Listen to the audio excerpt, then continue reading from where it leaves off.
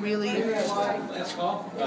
they're really resonating with the images that they're seeing because they've been at these concerts, they love these artists, and whether they appreciate it for the memories and the experiences that they're remembering or they or they're liking it because of the photo composition it doesn't really matter it's just it just means that rock and roll communicates to everyone that rock and roll has built this audience that and we all feel similarly because rock and roll has been the soundtrack of our lives. And these images, I hope, are the visual evidence of, of the artists. It's a documentation of the artists and the history of rock and roll that I've been privileged to be a part of for 38 years.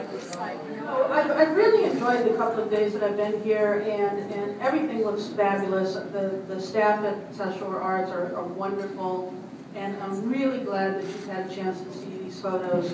Um, half of them, my photos, were originally in an exhibition at the Rock Hall in 2003. Yes, thank you for helping this all come together. Absolutely.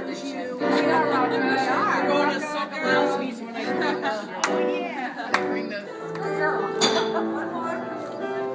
When the Beatles came to America in 1964, I was 10 years old, and they changed my life. The, the music, rock and roll music, just totally grabbed me. Um, I knew that I wanted to be somewhere close to this music, but I couldn't play guitar, so what I could play was camera. I, I had already been playing with my parents' camera and shooting pictures of the neighborhood kids and the dog and and also had been going down to our local radio station and working with the disc jockeys. Believe it or not, at 12 years old, working with disc jockeys, answering fan mail for records, but I always had my camera with me. So my first published picture was a picture of Sonny and Cher at WKYC Radio from 1966. It paid me two dollars, and it was in Teen Screen magazine. Well, I'd already found my career path, and you know, through high school papers, college papers, I, I was interviewing was interviewing musicians and taking photos of musicians, and it just built. It built into a career. By by 1974, at the age of 20, I was already doing this full time. This is this is this was my my career and my my life's work.